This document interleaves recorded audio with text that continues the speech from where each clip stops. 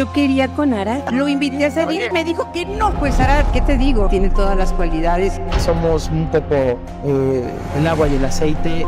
Porque no nos lleva. Lleno de amor mi corazón. Los momentos que Dios nos permitió fueron los más sabrosos. Nadie se debe de meter con Lupita D'Alessio. Definitivamente ella nunca olvida.